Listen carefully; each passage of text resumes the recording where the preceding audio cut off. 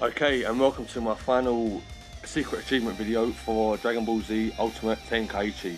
Now, I said to you that in two days I would tell you more about the character encyclopedia secret achievement on my Porunga um, achievement, summoning one of the dragons. Okay, basically in this secret achievement, all you have to do is when you complete the game, you have to run into your capital house, well not run literally, but go into your capital house and read every single character profile basically, if you're not going to do it the first time round, if you do it at the end of the game, reading all 62 characters will take about 6-7 minutes to read through.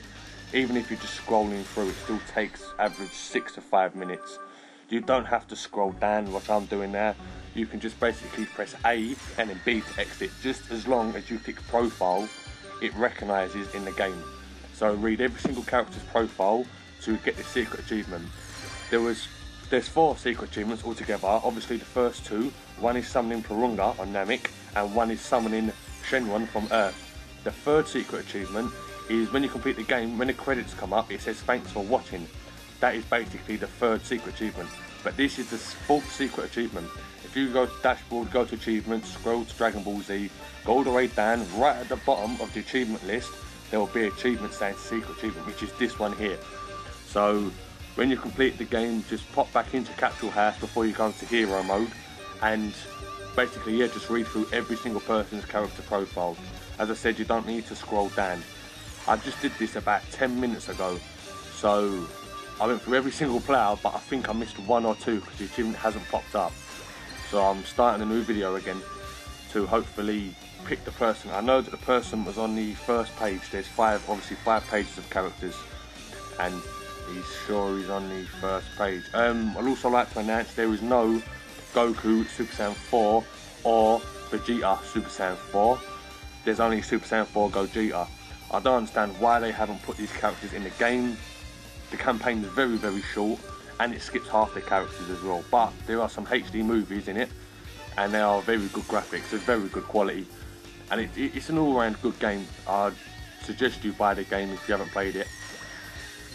And there we are. The fourth and final secret achievement for Dragon Ball Z Ultimate Tenkaichi. Basically, if you've got PlayStation 3, doesn't really matter. it works on both formats, Xbox and PlayStation 3. So hopefully you'll get your secret achievement. And yeah, just stay tuned. Um, could you please subscribe to my YouTube site?